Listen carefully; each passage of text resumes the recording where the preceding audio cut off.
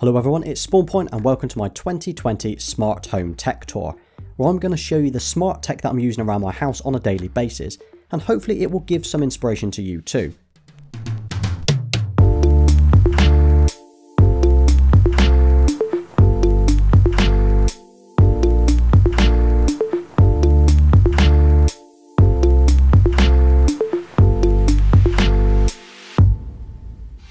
and I'm going to cover everything from the lights to the plugs, the heating and the speakers, and how I've integrated them all together.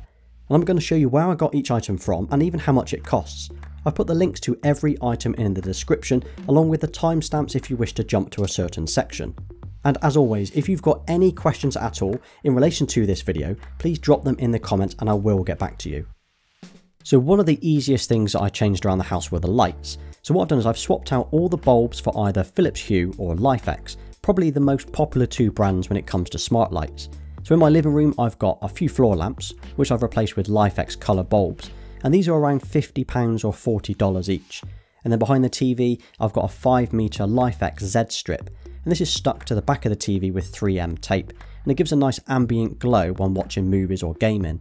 You can get a starter kit for about £80 or $70, and then each additional meter is about £30 or $25. And I'm using a total of 5 meters here. Um, and the TV that I'm using here, this is the 55 inch C9 OLED from LG. And I'll tell you what, the picture quality on this TV is incredible. I use it mainly for my PlayStation 4 for gaming, and also use it for watching Netflix most evenings as well. But if you want to see a full living room tour, check out my 2020 room tour, which I've linked to above. Then in the kitchen, I've got two ceiling lights, and I've replaced these with colour bulbs as well. Usually I have them set to a warm white, but I can also change them as well to any colour combo depending on the mood or the scene that I wish to set. And I'll show you how I create scenes later on, and that's pretty cool. Under the kitchen units, I've actually installed a really cheap Amazon LED strip. These cost about £15 or $15 and look pretty nice. And these are actually plugged into a smart home plug, so I can turn them on and off remotely. I'll explain more about these smart plugs a bit later as well, and how I turn normal items around my house into smart items. In the master bedroom, I've got a few lamps, so I'm using Philips Hue for these bulbs. And a side note, if you do use Philips Hue, you will also need a £40 or $50 bridge to control their product, whereas LIFX you don't, that just uses Wi-Fi. You can get these bulbs in most fittings as well, so you should be able to replace most of the bulbs in your own house, and I've linked to some of these in the description as well. On my desk I've got a couple of lights, so I'm using the LIFX beam on the wall, and that can be set to any colour combo at all, and then behind the desk itself I've got a LIFX Z strip as well. Now the beam on the wall, that costs about £150 or $150, and I'm using a 1 metre Z strip behind the desk, and that's about £80 or $70. And if you've seen my original desk setup tour, you'll probably notice that quite a lot has changed since then. I do have another video in the pipeline I'm hoping to release over the next couple of months. So I mentioned earlier that I use scenes for my lights, and this means I can create a scene or a theme for each room in the LIFX or the Philips app, and I can then call it using the Google Assistant or the Google Home app. So a few examples that I use around the house include a scene in the kitchen called Vibe, now this changes the lights to these colours and it completely transforms the room from the normal white bulbs in just one simple command. And then in the living room, I've got a few different scenes set up, including one called Daytime, and that turns all the lights bright white, which is perfect for a dark day. I've got another one called Retro, where all the lights turn a different shade of purple and pink. Now these scenes are great for creating a mood or a vibe that you might want to set, just by changing the light colours. Next I want to show you how I use speakers around my house to control the lights and other smart home tech that I've got. So I'm using Google Assistant, which means most of my speakers are Google Home or Nest speakers, however I do have a few compatible ones too. So I've got a Google Mini in the hallway, which I often use just for voice commands, so to turn the lights on and off for example, and these are super cheap at only £25 or $50 each roughly. Then I've got others around the house, including a Harman Kardon speaker on my desk, which I use to play Spotify while I work. And in the living room, I've got another Harman Kardon speaker, that's on my shelving unit, and these kick out some serious bass. And these are around £150 each.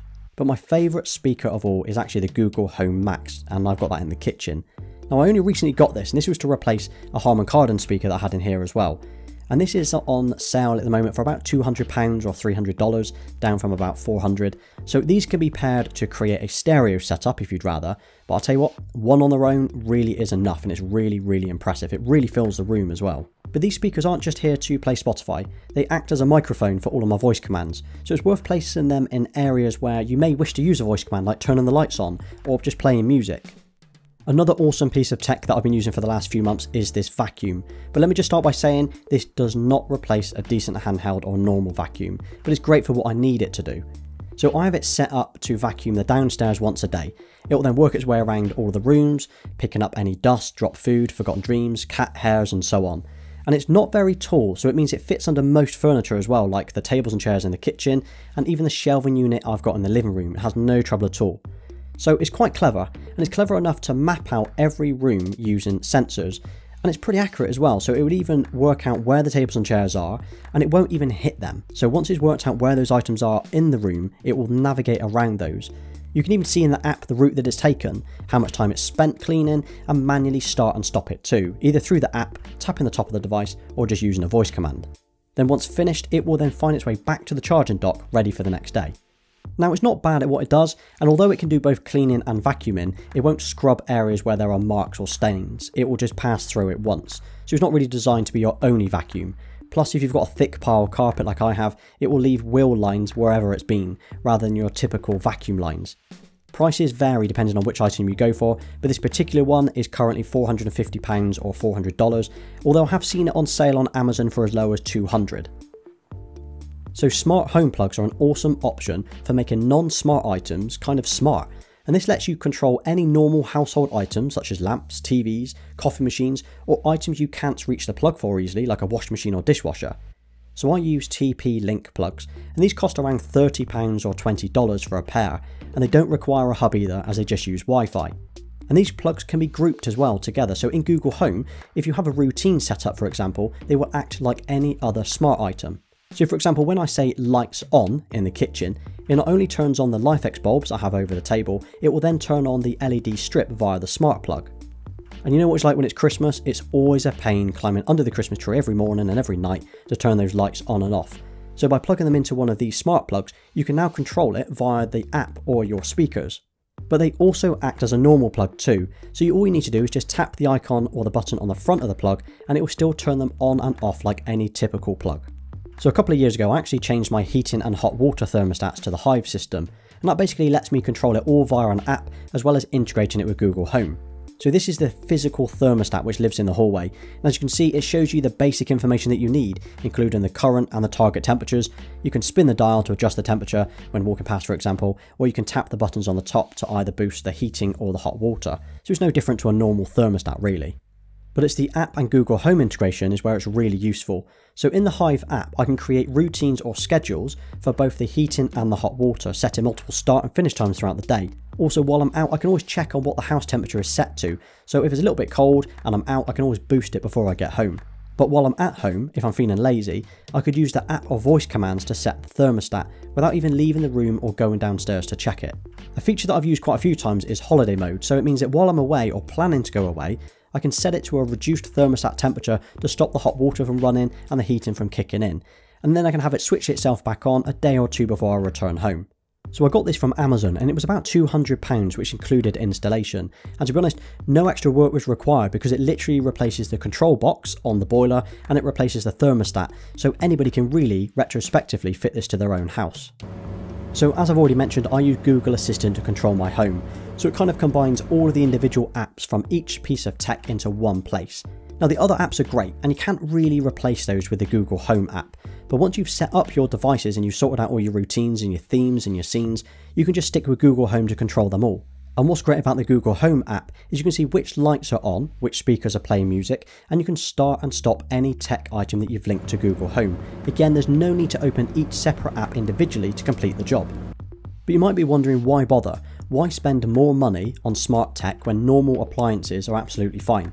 Some items don't really need to be smart or controlled via an app. It's a bit gimmicky and it would be fine without. However, when you factor in the time spent doing things manually, so for example, like turning lamps on and off, so if every morning and every night you went around and you turned on 5 or 10 lights, the time spent could be saved with a 5 second voice command to do exactly the same job, or leaving appliances on standby when you could have turned them off via a smart plug, and you can start to then see the benefits. Then there's the huge benefit of accessibility, so if you or someone you know have difficulty reaching light switches or plugs, well you can have those items retrospectively made smart with either a plug or a bulb. And that's a huge advantage for probably quite a lot of people, old and young.